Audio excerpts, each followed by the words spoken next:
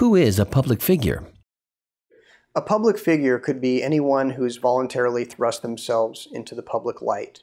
Public figures include people who volunteer to go on television shows or TV, or voluntarily uh, agree to uh, give uh, news uh, statements uh, or have print ads about their business in the news.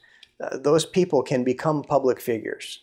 Public figures also include entertainers such as Paris Hilton in more recent news, or John Travolta.